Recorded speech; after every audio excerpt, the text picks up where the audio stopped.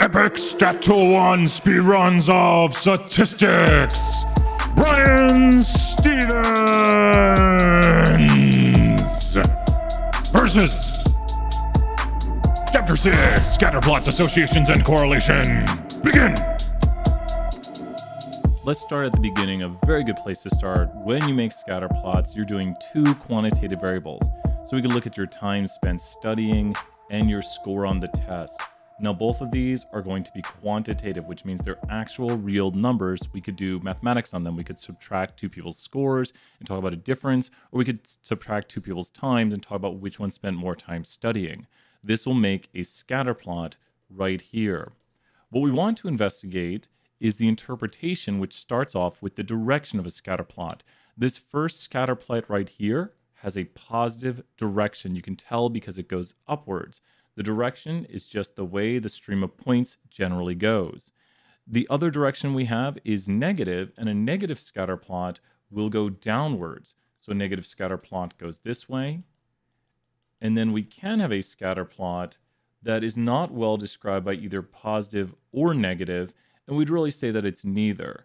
And a few examples of neither right here would be a scatter plot that shows no relationship. Here's one with really nothing going on. A flat line would go through it. And then we have a scatter plot in a parabola. And this is not really, really well described by a line. So both of these would have a flat line. And this is really your example of neither. These are neither positive nor negative. So these are not positive or negative. They're neither positive or negative. The next thing we want to talk about is the form of a scatter plot. When it comes to the form of a scatter plot, we have two major forms to look at.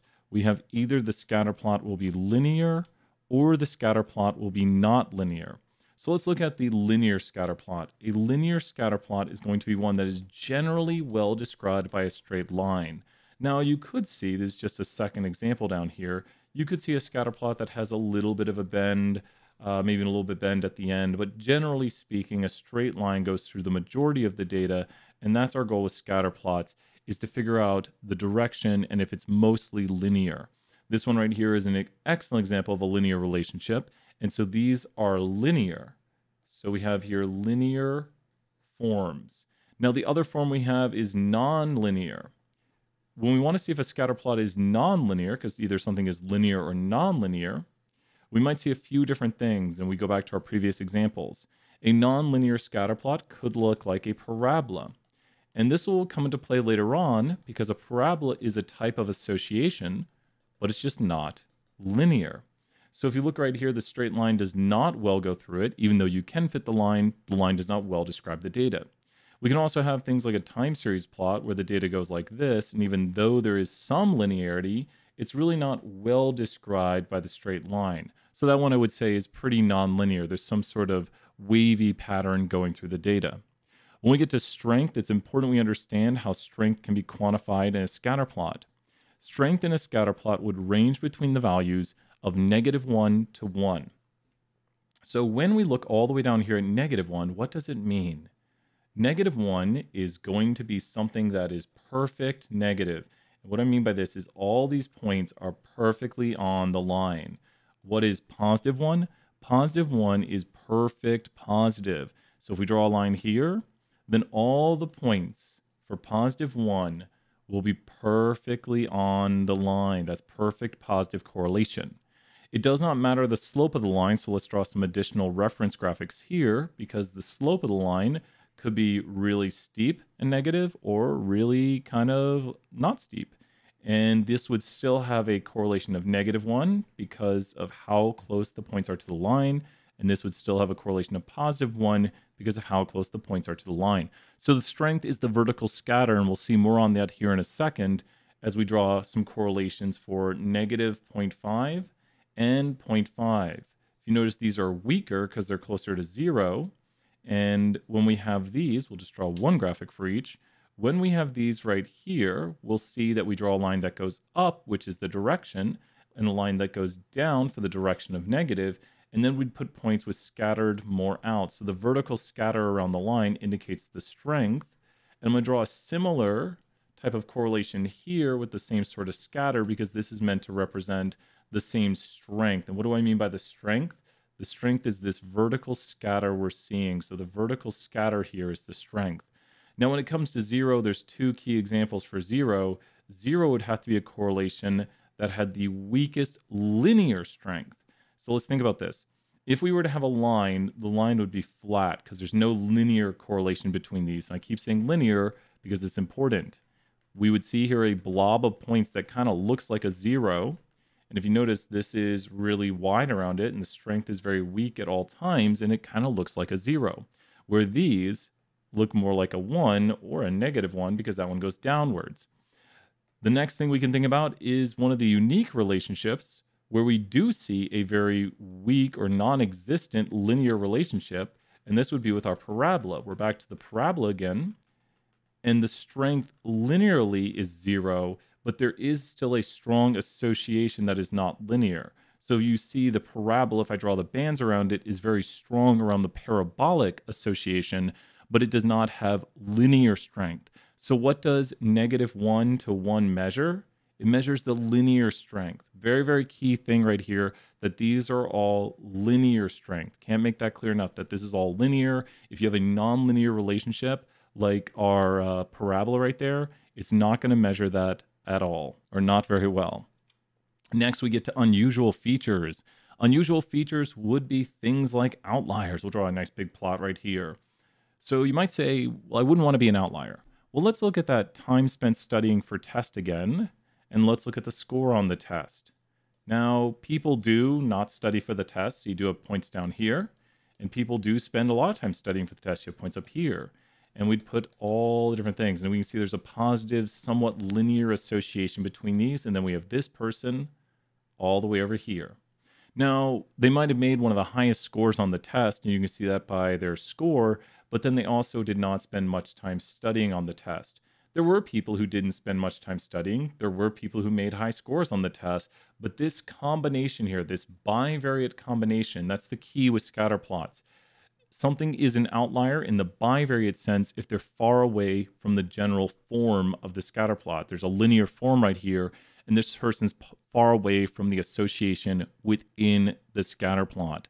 So when is something a bivariate outlier? When it's an unusual combination of the x and the y variable. Now, one thing you might be noticing is we're picking a certain x variable and we're picking a certain y variable. So the x variable is the explanatory variable.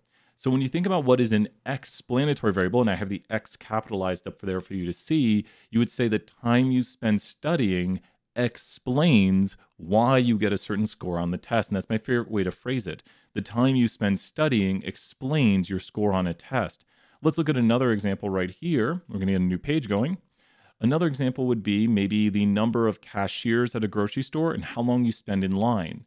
Would you say the number of cashiers explains why you wait in line so long, or why the waiting in line a long time explains why there are so many cashiers? So when we think about this, what is the best way to phrase it? And I would say, let's look at here cashiers in a grocery store, and let's look at uh, wait. I think it makes more sense to say it this way that the number of open cashiers explains why you wait a long time in the line. And think of this as the x variable. What is explaining? And so always think what is doing the explaining why something else is happening. And that's why I like to phrase it that way. The x is the explanatory variable right there, makes perfect sense. The bounds of correlation, and R is the abbreviation for correlation. We'll go back up here to our graphic the bounds of correlation, which all of these values are R. So let's write an R up here. R for correlation. Correlation. The bounds of correlation is negative 1 to positive 1, which is perfect negative all the way up to perfect positive, and in the middle is the weakest. So as you go further out on this, it gets stronger. So this is the weakest in the middle, and stronger over here, positive 1, and weakest in the middle stronger over here at negative 1. Positive 0.5 and negative 0.5 are of equal strength. Next, we have one of my favorites saying QQ straight enough, no outliers. And this graphic right here is a perfect example. Let's look on this one here. What do we mean by QQ? When I say QQ, it's quantitative variables. So you, you might need to write down quantitative variables. It just means that this variable here, time, is quantitative, and this variable here, score, is quantitative. So we have a quantitative quantitative relationship. And if you have a scatter plot, it is quantitative quantitative. What does straight enough mean? Straight enough means that what we're viewing here is a straight enough relationship. To contrast it with something that would not be straight enough, we'd have something maybe that goes like this right here. And I would say this is not straight enough because if you plot the line through it, the line does not do a good job of going through the middle of the data at all points. You want to see generally an even amount of points above or below the line at all times. And we don't see that here. We see points going above and below, and we don't see an even scatter all throughout at different intervals of x. So this would not be a straight enough relationship over here on the far side. This one in the middle is a straight enough relationship though. What does no outliers mean? Well, when it comes to no outliers, no outliers simply means there are no outliers. And so that's why I like to say QQ straight enough, no outliers. This one would pass all of them. If we want to give it an outlier, we usually try to make it very clear. And also you can usually mention these things. You can say where the outlier is at, or we try to draw your attention to it. We will try not to do things like giving a small outlier. The more obvious an outlier is, the easier it is to see that it fails the condition. So you want there to be no outliers. You want there to be no outliers. When it comes to correlation between negative 1 and 0 and 1, what does that mean? Well, with all these different values of correlation, we can have correlation that is impacted by outliers. You might have a correlation of 0, and it would look something like this. There's a correlation of 0 because if you look, it would make this right here. So right now, r is equal to 0. But let's put in an extreme outlier right here. You'd be shocked, but with just one outlier, r could easily go up to something like 0.8. And so if you notice, the correlation is telling us the linear strength of it. And now with one outlier, all of a sudden the correlation has been massively changed. We can see the same thing happen. Let's do a counterexample here. That was an outlier making a weak correlation strong. Let's start out with a very strong correlation here with just three points. These three points have a correlation of 0.99. If you notice, they're almost perfectly linear. And then if you were to put a point all the way over here, well, now the correlation is going to be 0.01. Now we see, instead of a near perfect linear correlation, we have a very weak, non existent correlation. And you can kind of see how the zero comes into play. So the closer it is to zero, the weaker it is. The closer it is to one or negative one, the stronger it is. So strength of correlation is measured between negative one to one, with those being the strongest and zero being the weakest. Correlation is not causation. Correlation is not causation. We can't say this enough. When it comes to correlation is not causation, let's take a look at some important graphics right here. With correlation being not causation, one of the most famous examples I like is how many TVs you own and the longer you live. So we could look over here with TVs and we could look at uh, life expectancy, life, we'll just say life. So the more TVs you own, the longer you live. And you would think, well, wait a minute. We see when people own more TVs, they're living a lot longer and it's mainly linear. Well, with this right here, it doesn't, it is true that there's an association between owning TVs and living longer. That is a true statement but it is a false statement to say that owning TVs causes people to live longer. What might be the actual lurking variable? The lurking variable here might be things like health insurance, because people who own more TVs might have more money, more access to health insurance. So maybe wealth, amount of wealth that people have is, is also associated with life. But we would never really want to say the cause word. Be very careful with the word cause. Let's just go right here and write cause, and let's just exit out. If you see cause on a test, usually, especially on our tests, that is usually something we don't want to do with statistics unless we've done an experiment. Experiments, which we don't get into much, are the kind of gold standard to look for cause and effect. And just because we observe a correlation between two things, even if it's super strong, doesn't mean that owning TVs causes you to live longer. The two things can be associated, but we don't know there's a causal relationship. Like if you buy TVs, you will live longer. So with this right here, we understand what lurking variables are. They are variables in the background, such as like wealth for this example. So we would assume that wealth is the lurking variable. And there's one graphic that stuck with me throughout all this time, and I saw it in a book so long ago. When you think about X and Y, we don't know if X is impacting Y or Y is impacting X But it could be that there's a z variable in the background. So think about this with our previous examples. Do people live longer because they own more TVs? Do people who live longer own more TVs?